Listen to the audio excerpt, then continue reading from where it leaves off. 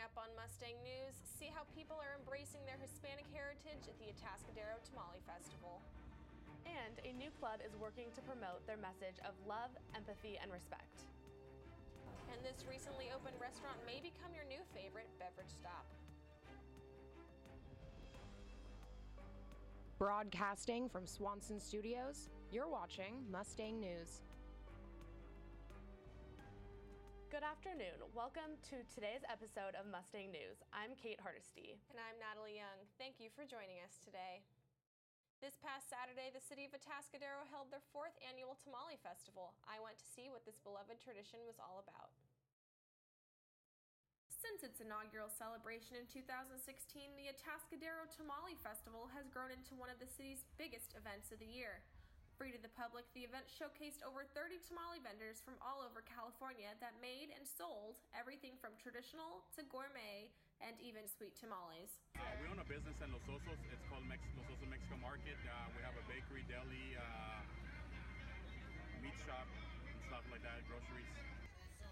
Like every year, vendors also had the opportunity to enter the famous tamale contest, where vendors showcase their outstanding work in creating the best tamale. We have to enter. We have to do a certain amount of tamales, and then uh, just you know depends on the clientele, the customers who decide uh, it has the best tamales. Aside from all the fun, the Tamale Festival also showcased Mexican culture as a whole. Festival goers had the opportunity to watch traditional mariachis, folklorico dancers, and dancing horses. With today's political and social climate, embracing and celebrating culture is more important now than ever. By putting on festivals like this, the public gains insight into the lives and heritage of others they might not have otherwise known about. I definitely think festivals like this are helping others incorporate Hispanic heritage into their lives. Natalie Young, Mustang News. After a season of holiday shopping, this new media craze has people clearing their closets with a smile. Released a new show on New Year's Day called Tidying Up with Marie Kondo, and it wasn't long before Kondo's life changing methods went viral. Just like I was scattered with everything. My desk was, couldn't see the actual desk itself, it just had stuff all over it. Um, took me forever to get dressed in the morning because I had way too many clothes. I decided to simplify my life, and through the research, I came across the KonMari method. The KonMari method is named after Marie Kondo, who is a Japanese organizing consultant who transforms people's homes and lifestyles. The process involves looking at each of your belongings and keeping only the items that bring you joy, and for the items that do not, you thank them for their service. We all have these like sentimental attachments to material items, and she kind of introduced a great way of like these aren't really that important. So, you know, you can get rid of them. Here's how I do it. And then that kind of made it easier for me. This nationwide trend has even reached San Luis Obispo, with people sharing success stories on social media, expressing a change in perspective and a more joyous life. As a result, the KonMari method has thrift stores in San Luis Obispo seeing a stark increase in donations. I mean, we had people the other day, um, I think it was last Friday, um, there was like four or five pe- people that came in back to back saying they watched that show and dropped off stuff. It was crazy. For Mustang News, Leah Castillo. New data released from the university shows more women are graduating from Cal Poly than men. In 2018, men were 7.6% less likely to graduate, an increase from last year's gender gap at 6.8%. The university is aware of the issue and is working towards a solution. So there's sort of this the first thing is just sort of the awareness that it's there, and then to build the things that academic programs has built around trying to study the different aspects of, of what's what's going on. As part of Cal Poly's graduation initiative, they have started a group called the Student Success and University Research Group, focused on studying the gap and looking at ways to decrease it. And now over to Sam with the weather. Thanks, Kate. The rain has moved out and the sun is back. Get ready for some warmer temperatures in the SLO area. I'll have more after the break.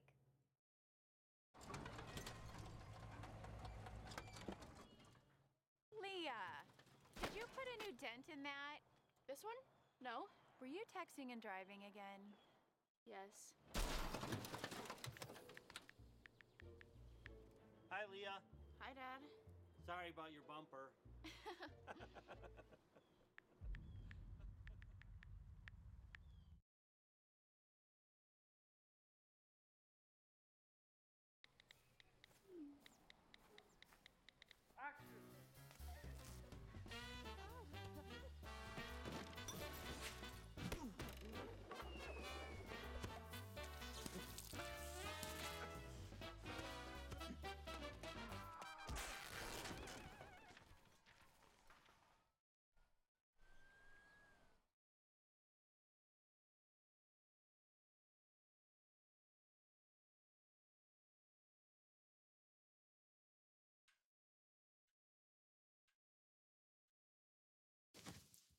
awkward. I'm the awkward silence. You try to avoid me, then there I am again. But an awkward silence can be a great thing. Like Kelly here is about to demonstrate. You haven't really been yourself lately. Are you okay? Find out how you can help a friend with their mental health at seizetheawkward.org. Welcome back. I'm Sam Spitz here with your weather forecast for the day. Today is going to be a warm one. We're going to see a high of 72. It's going to cool off a little bit at night, but it's still going to be nice. So if you're looking to go to farmer's market or walk downtown, you should just bring a light jacket. And we're going to see a low of 41 today, a little bit of wind at 10 miles per hour. Moving into our North County, we're going to see similar temperatures. Paso Robles at 66 degrees. Then we move down. We're Santa Margarita. It's going to also be 66 degrees with a low of 35. And then looking at our South County and extended, we're going to see a little bit of warmer temperatures here. Arroyo Grande, we're going to see 73. Moving into Guadalupe, it'll be 71 with a low of 42. And as we move a little bit further down, it's going to cool off a little bit in Vandenberg at 67.44. Looking at our beaches, it's also going to be beautiful. It's a little colder up in Cayucos, Morro Bay area. As we move back down, Pismo and Avila are the same at 72 degrees and Oceano at 71. Looking at our five-day forecast, it's going. We're going to see temperatures increase throughout the week. Tomorrow is going to be a high of 74 with a low of 42. As we move into the weekend, we are going to see those clouds roll in. It's going to be, but the temperatures are still going to be hot. 75 on Saturday, 73 on Sunday, and then we're going to cool down a little bit on Monday at 69 degrees. That's all the weather I have for you. Now over to Kate with sports. After a historic run for of success for the Cal Poly volleyball team, coach Sam Crosson took a job at UC Berkeley. Jay Serrano has more about the longtime assistant who will be taking over.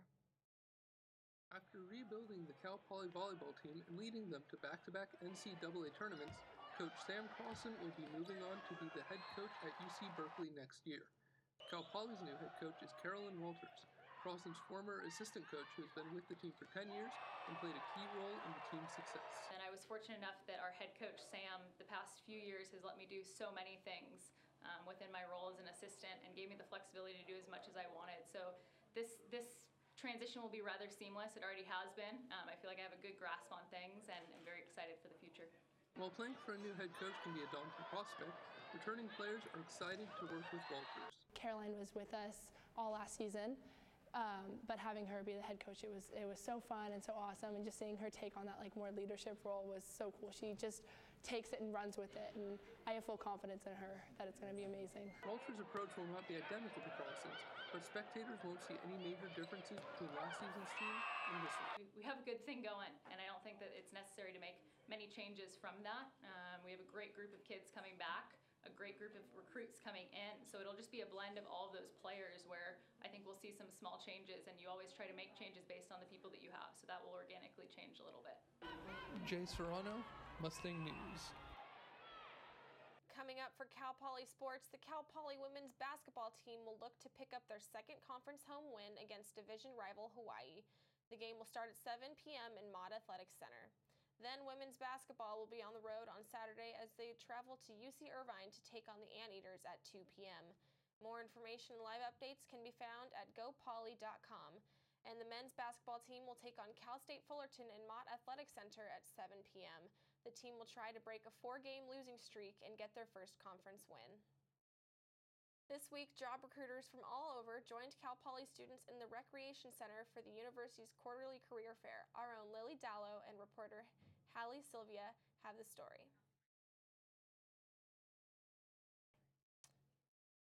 We'll, we'll be right back after the break. I, Krista, we found out that we were pregnant, we were just elated. We were just sitting there waiting for the pediatrician. She said she won't be taking you in as a client.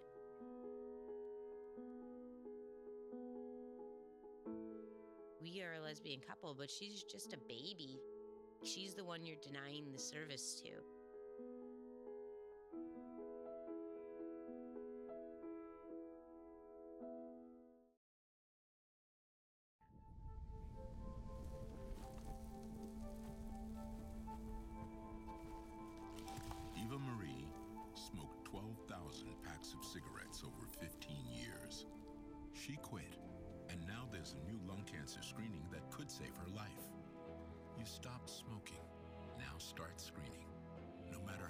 You smoked, early detection could save you. Talk to your doctor or learn more at savedbythescan.org. This week, job recruiters from all over joined Cal Poly students in the Recreation Center for the university's quarterly career fair. Our own Lily Dallow and reporter Hallie Sylvia have the story. This Wednesday and Thursday, Cal Poly hosted its annual Winter Career Fair. Students of all years and majors can meet with employers to discuss potential job opportunities. Third year mechanical engineering major Spencer Han shared with us his initial reaction to his first trip to the career fair. So I was feeling a little underprepared, uh, like resume wise, but after going in there and talking to people, it was actually it was really nice. I have I realized that I have a lot to bring to a lot of different companies, so I'm feeling pretty good. We asked Cal Poly alumni and key insights recruiter Kenny Schmutz on why he and his company enjoy coming to the Cal Poly Career Fair. Keysight really loves to come here because we t- we typically get a lot of talent that has just um, worked out really great.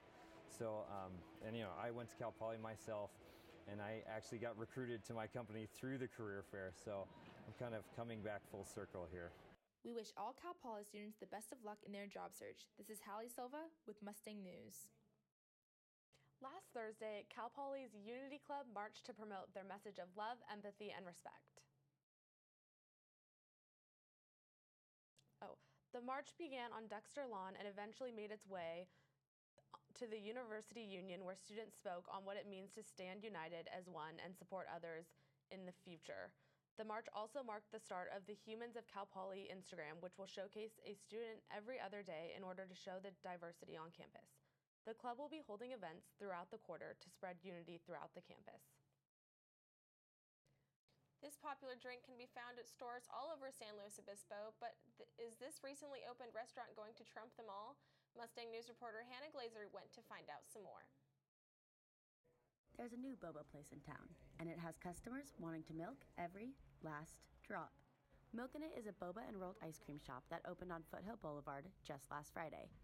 And though only being open for less than a week, it is already causing quite a boba buzz. I got out of class, was like kind of thirsty. I was like, what, what's good? Not boba stop, Milkin' It. So we went to Milkin' It instead.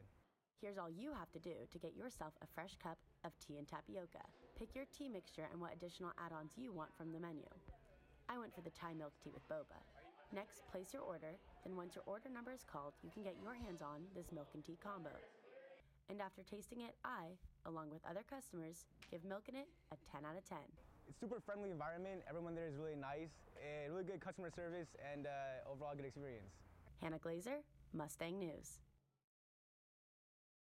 I'm Natalie Young. Thank you for joining us today. And I'm Kate Hardesty. Have a great weekend.